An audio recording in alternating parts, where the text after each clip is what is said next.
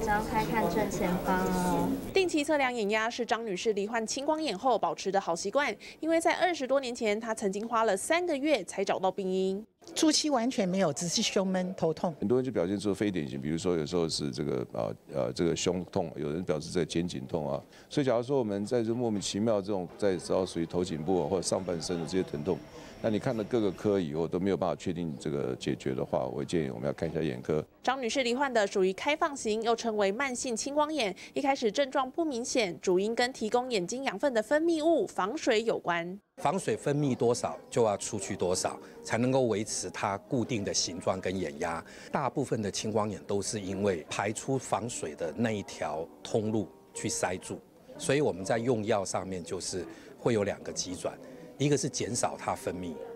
一个是促进它排出。